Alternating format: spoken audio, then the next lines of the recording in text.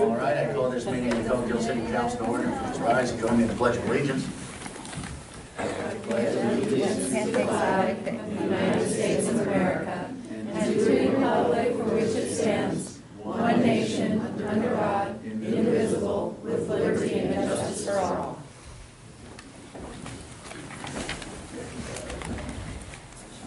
Good evening, everybody. Um, So we're on uh, agenda item number three, mayor's comments. I'm going to keep my comments uh, brief, except for to say the sad situation, the jail continues on. The merciful, uh, good news is that even though we've only got 49 jail beds, uh, with the weather being so bad, crooks don't like to stick around so much when the- the river's high and the rains are heavy. But as the weather gets better, I expect the situation with the jail to get increasingly worse. And sadly, there seems to be no answers on the table from our friends at the county at the present time. But I know our business owners are going to keep being vigilant, and our Chamber of Commerce is going to be vigilant. And uh, if you're concerned at all about anything, just call the top. Uh, You know, even if, even if it turns out to be a small thing, just don't be afraid to pick up the phone and call one of our officers that are there to help. Um, All right, let's go on to council comments. Um, I'll start with Councilor Graham. No comment. All right, points for Brett. Um, uh, Councilor Heath. Okay, well, I'll fill in. Uh, I uh, helped with carousel move from uh, downtown to the Jefferson School, and it was qui- quite um, undertaking. I need to congratulate Linda for overseeing that. I would have pulled my hair out, but everyone worked hard. Um, Also, the garden club, which meets tomorrow in the small auditorium at one, last month, had a speaker on the CERT, the Community Emergency Response Team. And I did that course um, some years ago when it was pretty new. Now you get a whole bunch more goodies and a whole bunch more information. So I would urge everyone to take that CERT course. Um, I went to the Senator Merkley um, reception and talk at Myrtle Point School and um, enjoyed that very much, especially the questions that the kids had for the senator. I thought they were very uh, well thought out.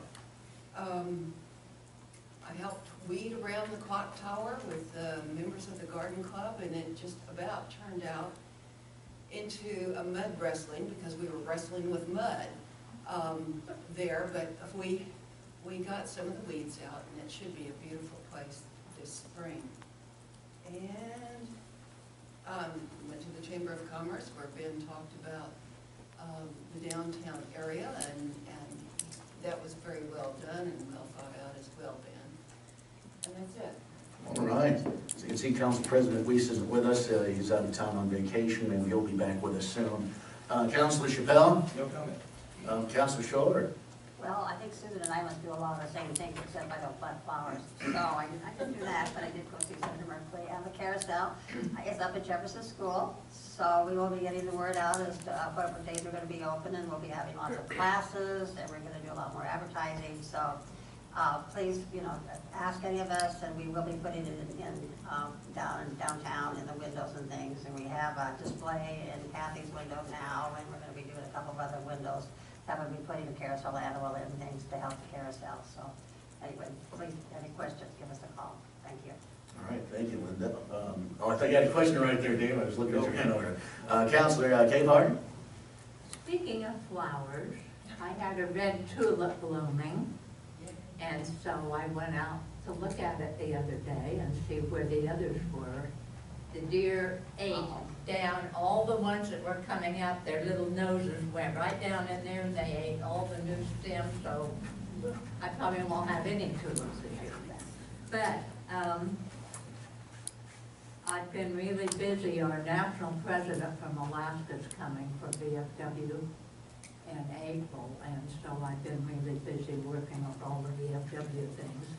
Went to conference at Newport last year, the last week, and, uh, Miss Coos County is coming this Saturday night. Judy has tickets until Friday, so if anyone wants to go see Miss Coos County, there's lots of girls running. Um, And- in the auditorium? hmm? In the large auditorium? It's at Hales Performing Arts, it's always at Hales Performing Arts, there's like six hundred seats there, I. Um, It's always a good show, a lot of fun. Um, And then I went to Bay, well, three of us went to the, several of us went to Bay Fun Festival Saturday night and talked to lots of people and saw lots of different improvements to their area, so. Anyhow, that's all, I'm just busy. Thank you, Fran. Uh, Let's go to staff reports. As you can see, Chief Blue's not with us, Mr. Duffner's not with us, and Mr. Urban's not with us. But we've got their written reports, so if any members of the council have any questions regarding their departments, I know Ben will do his best to answer them. Um, So are there any questions regarding the finance, police, or public works reports? I know that's sort of a catch-all, but, um, you know, uh, they're there in the packet. We've had time to read them, so if there are questions, now's the time. All right then, hearing none, we'll move on to uh, the library director's report. Uh, Director Connor? Thank you very much. You have my report in front of you. This is a very exciting night for me. The construction committee, which had representatives from every area of the city, met and looked at the proposals that we got for our pre-design and made their recommendation to the foundation board.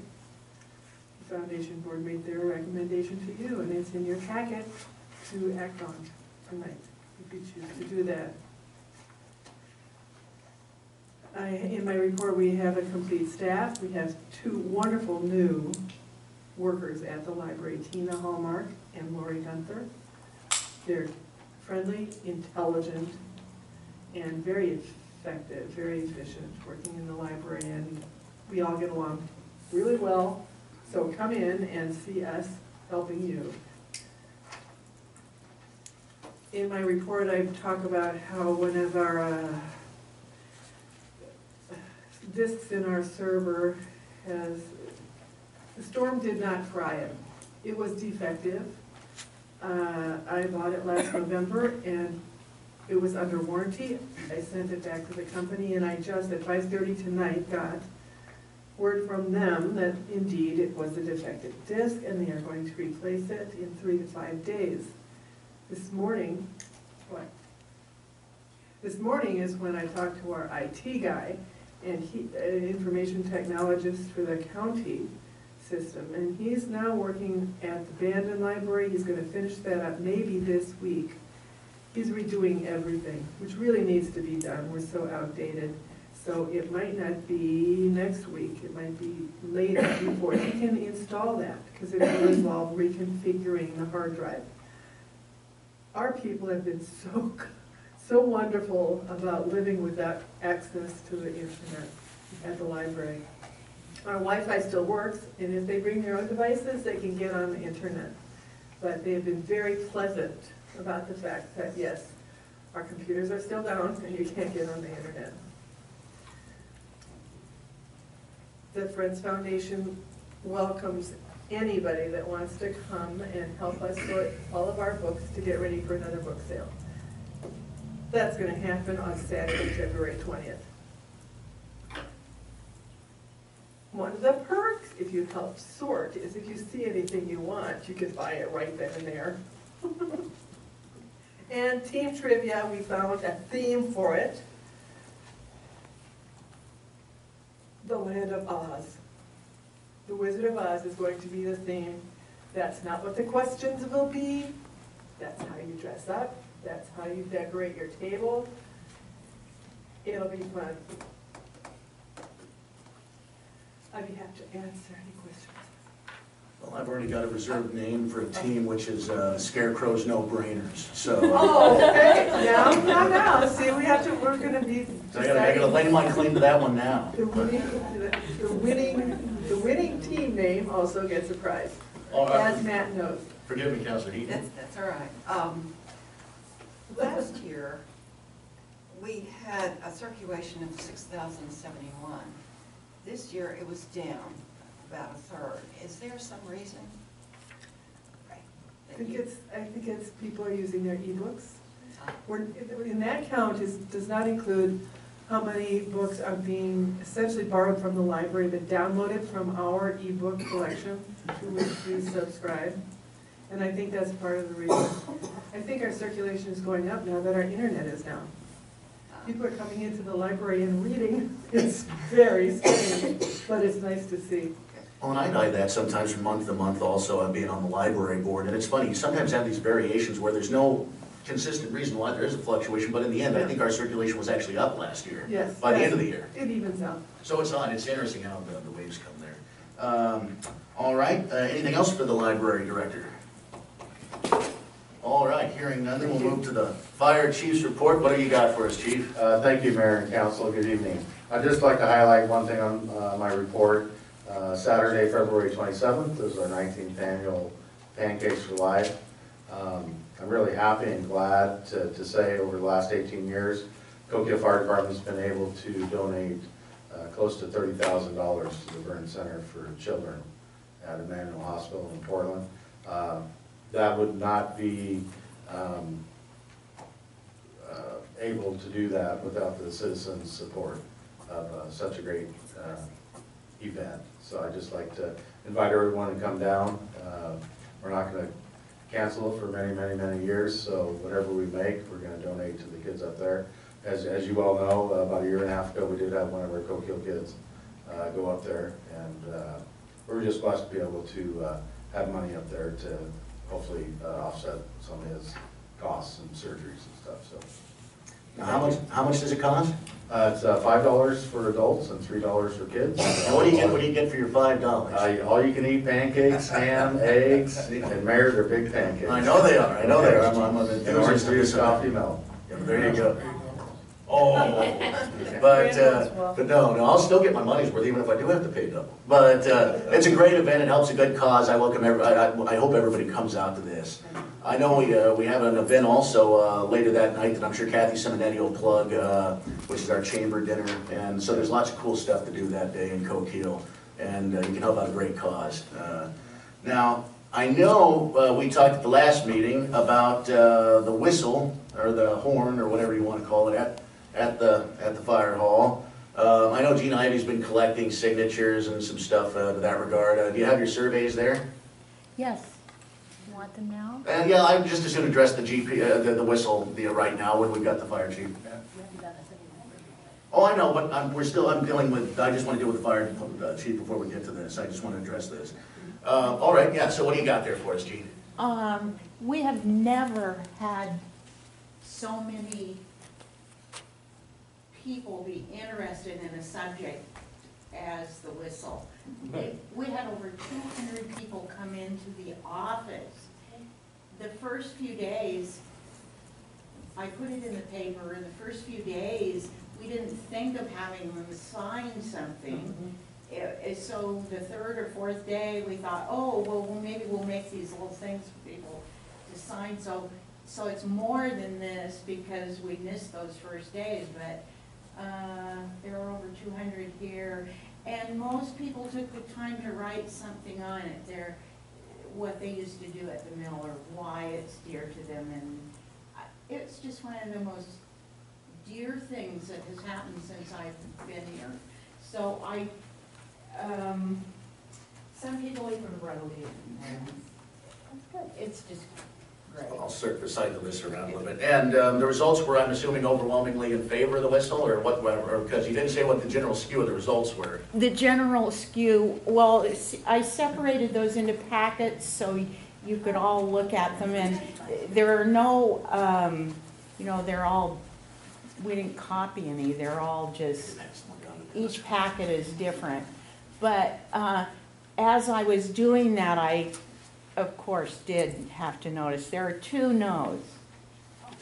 And then two hundred and twenty yeses, and so there's your answer. Well, It's actually the council's answer, so. Yeah. Well, you know, um,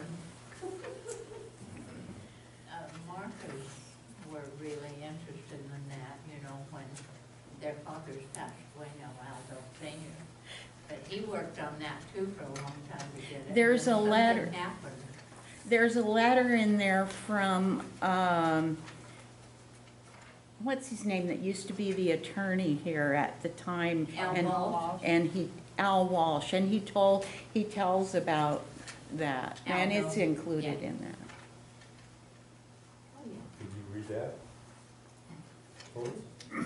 Well, said, Yeah, one, one of those packets is right on top, and it says Al Walsh letter. One of you has that. That's mine, I have. Okay, maybe you could, Dave, has that whistle ever been tested for its decibel level? uh, Uh, ne- never has, no. Actually, this runs off of, um, air out of a thousand gallon tank, where at GP it actually ran off of steam, but we've never had decibel checks on it, no. Um, If I may. Well, sir? Jean, when I first came to town, of course, the whistle was there and sounded. And it sounded, I think, at ten o'clock in the morning, and I would have my mid-morning cup I of know. coffee. And then it would sound at noon, and I would have you knew when lunch. to have lunch. And then it would sound at five, and I would have my glass of wine. But you know what? I can do the coffee, the lunch, and the wine without it. Oh. So, I'm, way. I- I'm, uh, I- I think the quiet is better than the the siren.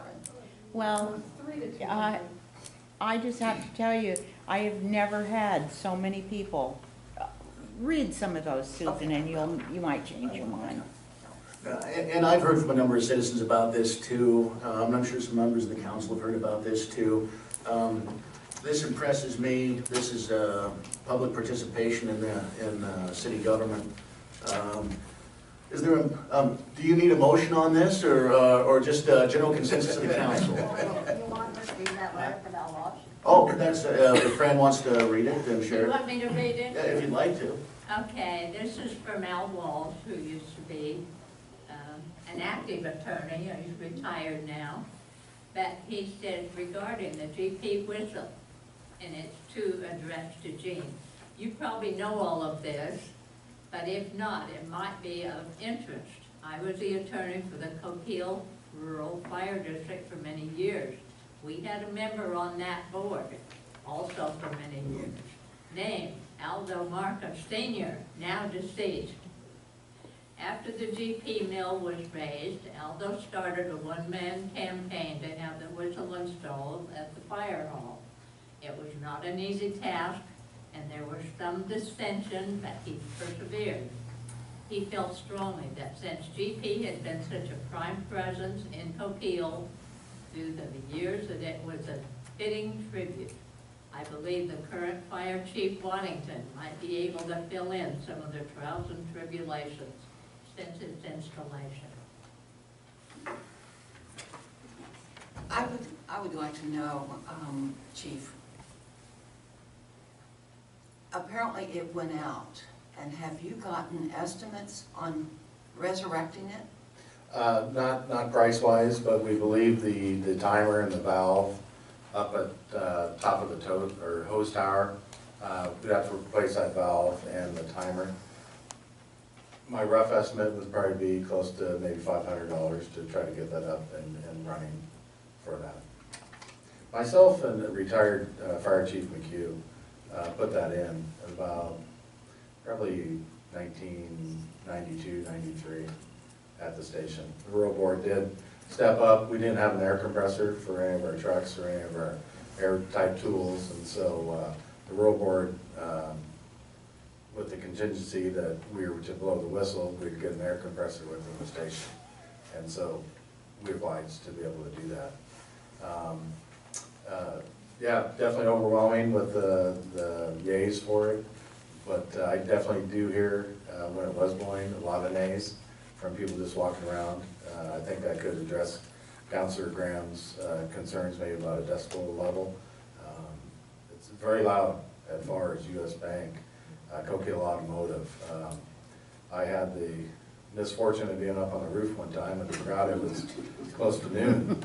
Um, And that was, that was a shocker uh, for that. But uh, I'd be more than happy to do whatever the council wishes to do. Um, We've even talked about, you know, is there somewhere else that uh, a group could take that, uh, be in charge of that? Um, But everything is in place at the station now. To be able to do that, so. Lower the decibels? I don't know that. much. Uh, I, But not- Probably just with the valve, probably how much air comes through that valve. It's actually a, uh, about a two-inch line that goes up to the um, uh, horn itself. And uh, for seven seconds, that, that whole tank opens up and takes the- the thousand gallons of air and just rushes up to that. So, uh, based on probably the valve that we put in, you probably could lower that, but I'm not an expert on that, so. Well, that's, oh, sorry, did you have something, Dennis? I could. All I know, as deaf as I am, I've been downtown when that thing goes off. It'll wake you up, even me. How about a lawsuit, for, you know, somebody having a heart attack? Ever think about that, the liability? not being able to lower it. Well, Gina, I think, should be congratulated for an effort, but I wonder if another person against the horn put out the same effort would get equal or Wait, more. Wait, Wait, I, I think you're Whoa, whoa, whoa, whoa, I- I, I mistaken. can't have the, the the back and forth like this from the audience, Jean. I- I- Well, it I appreciate wasn't- what you've done here, but It Wasn't an effort on my part. I just put in what you, what you guys said last, last meeting. And I'm, I promise, what, I mean, it wasn't an effort. Well, no, that, that's fair. No, I'll, I'll let, I'll, let- I appreciate your comment there, Jean. I understand where you're coming from, Susan. That said, I did say I'd like to have a vote on this, so if there's any, I mean, you know, we'll see, uh, the people will see what, uh, the council pleases to do on this. So is there any motion, uh, at all to, uh, uh, fix the whistle? I make a motion that we fix it and have it reinstalled. Councilor Chappelle makes a motion. Is there a second? Councilor You Capehart bet, seconds. You bet. Uh, discussion. yes, I'd like to see if you get the decibel down a little bit then, if you're gonna do that. No, I mean, I- there- I'm also for it, I'm gonna vote for it, but I would like to see if that's a That- concern. Was that, would, uh, do you want that in your motion, Dave, or do you just want to just go straight to the issue and? If, if, yeah, uh, to lower the decibel level. Well, we don't even know what it is, so I think that that can be a staff discretionary decision, removed from fixing the whistle. Um, um, But, um, all right, uh, Fran, did you want to say something? Yeah. Just all for it? Yes, it's just that there's only one no in this packet. As long as this one. All right, Most of the people want it. is there any uh, further discussion? I, it- it- yes, I would like to know if indeed, before we vote on it, how much it would cost and if you could lower the decibels and table this next time. No, you're not. Well, there was, um, um, so you're making a motion to table this, but that's, you made the motion, you seconded it, so you guys have to consent to tabling it. uh, um, So, I mean, would you prefer to just address this now? Because I think the people, I mean, in my opinion, deserve a vote. No, I think these people have gone to the point of, of doing this. Jean, you went to the, you went to the, the, the trouble, I guess for lack of a better term, to, to do this. And people had the option to vote yes or no, period, okay? Let's just address it now, let's get it, let's get it taken care of. And in our years on the council, have we ever seen this kind of output? I, I haven't. I think this is great.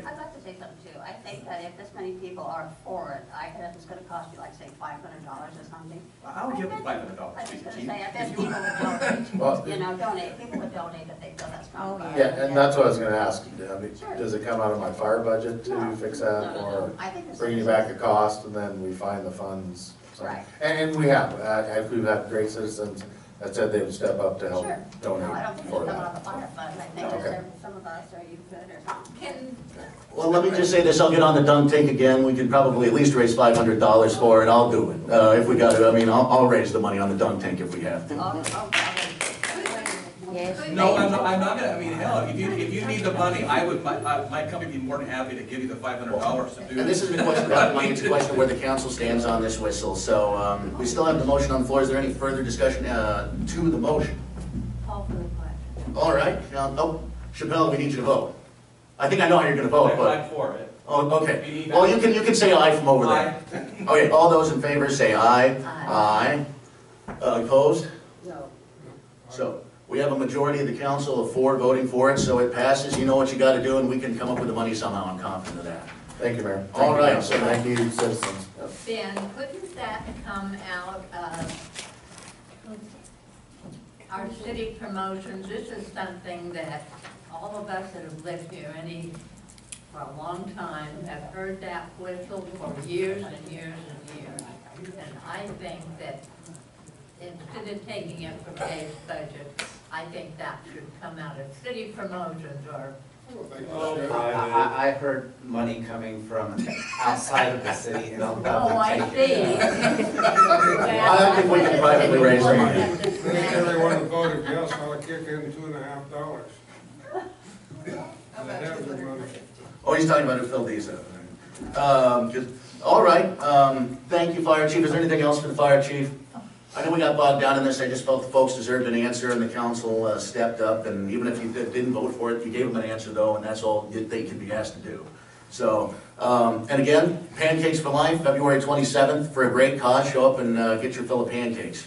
Thank you, sir. Uh, All right, um, um, city managers report. Uh, Ben, anything in addition to your written report? Uh, First, I'm gonna jump back to the Public Works Director's report, because in there, he did have two grants that he wanted to let the council know about, and um, just, is the council desirous of pursuing both those grants? One is to replace the, the boat dock at Sturdivant Park, and we would also pursue uh, funding from Fish and Wildlife that would allow part of the dock to be for fishing which for years has been fished off of, but the Marine Board hasn't appreciated that. The new dock would be for both boats and fishermen. Uh, The other grant would be a grant with the Oregon State Parks for a trail, uh, specifically up in uh, 100, what we like to call the 100 acre wood, behind Irving and uh, South First. And uh, is that a, a project that we're interested in pursuing right now before we put in for the grant? Did Tony go ahead with his deal and give it to the city? Not yet. The, um, so the appraisal came back and it was too low. Uh, there was about a difference of fifteen thousand.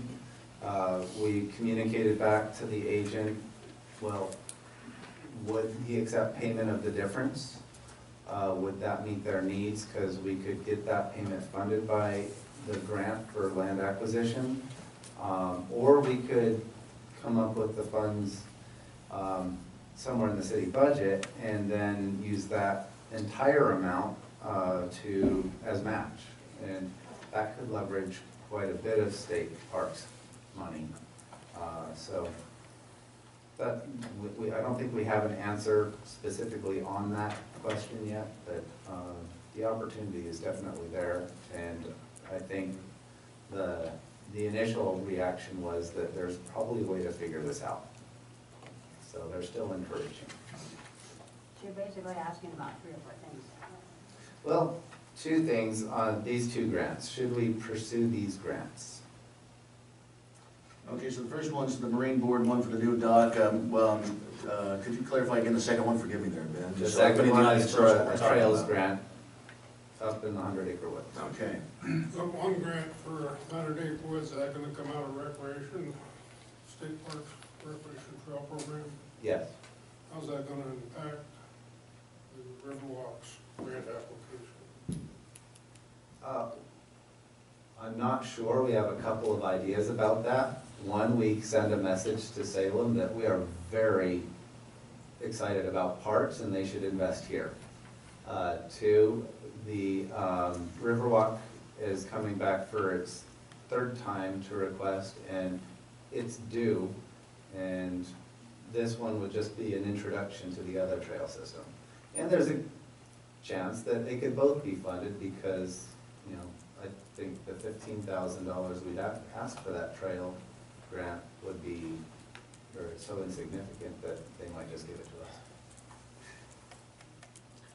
All right, uh, any other uh, council uh, questions regarding the grants? Are there any objections to pursuing either of them? Kind of question the second one, I kind of feel like the same way that, that uh, uh, Dennis does as far as, uh, you know, doing another one, just because I don't want to take it away from the Riverwalk. So, so one of the rules is one agency cannot have two grants open at the same time. And the thought is that as two separate agencies, the city, independent of the Riverwalk, uh, could be pursuing a separate grant at the same time. And it's really about getting on their radar. Uh, I, I doubt that the one would preclude the other from getting funded, uh, at least the Riverwalk. Uh, That's, that's our first priority. All right, so you're not looking, are you, you're not looking for a motion, you're just looking for consensus regarding the grants? Yes.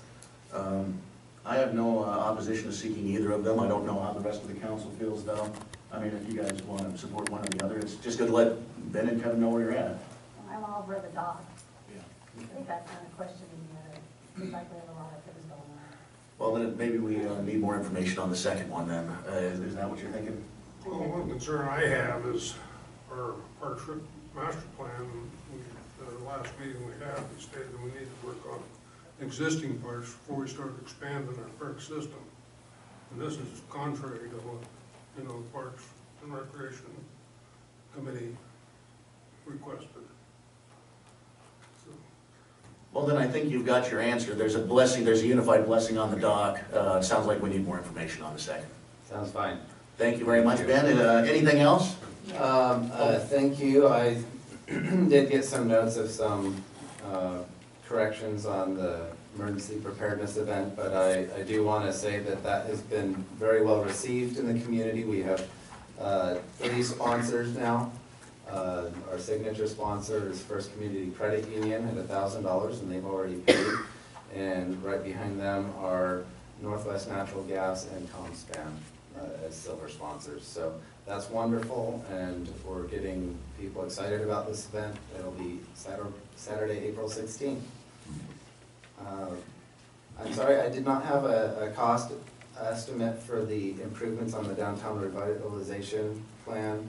Uh, I had some back and forth with Pacific Power and they provided me additional information and uh, I am waiting on the Dyer partnership to get us some estimates on what our share of that cost might be.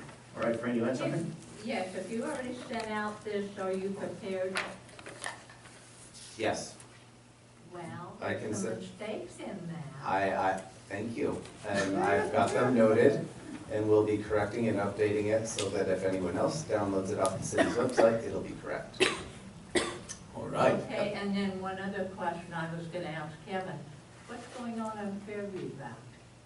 Yes, uh, Sunday morning, uh, it was found that the road was collapsing. There's an old culvert under the road uh, that had rusted out all through the top, and uh, it went all the way across the road. Uh, Emergency personnel got on it, barricaded the road. Uh, This is gonna have a significant impact on our local economy. Uh, I had a call from Milky Way Feed today because they're very concerned about how this is gonna impact their business. Uh, They rely on many large truck deliveries each week, uh, about twelve. And even though they're, they are at the end of the line for a lot of these trucks, so the trucks aren't fully loaded, they're just making the last drop off at Milky Way Feed.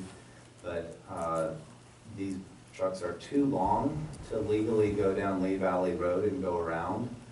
Um, And when a milk truck is fully loaded, ten thousand pounds, it- it can, can't really make it up Hungry Mountain very well.